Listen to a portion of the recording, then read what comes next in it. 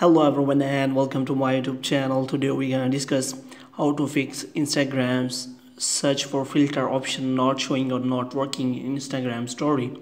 So, so how you can fix that? So first of all, what you have to do, you have to simply open the Instagram app and here what you have to do, you have to click on the plus button here and after that you have to click on story and after that here you can see previously it was available in my account and it is not showing yet here then how you can fix that? For example if you click on here then no filter uh, search option is showing here.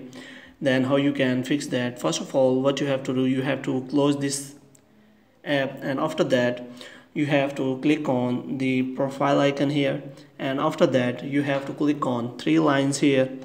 And in three lines you have to click on settings and privacy. And after that you can scroll it down and you can easily find the option of help and you have to click on that.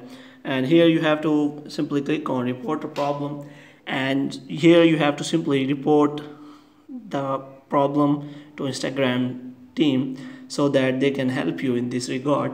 And here you have to simply explain the problem that what is happening to you. So I have already written so I am going to paste it here which is as hello Instagram team Instagram search filter option not showing or not working in Instagram story in my Instagram app.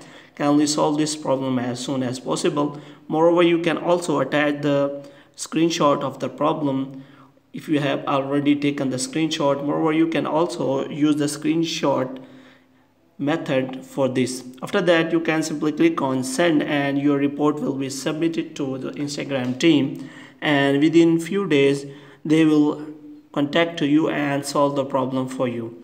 Hope you have liked this video. If you want get more videos like this kindly subscribe our channel